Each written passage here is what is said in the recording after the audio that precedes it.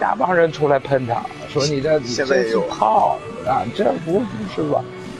可是他现在是没问题是摇滚现在大家就认认同这样是摇滚全世界都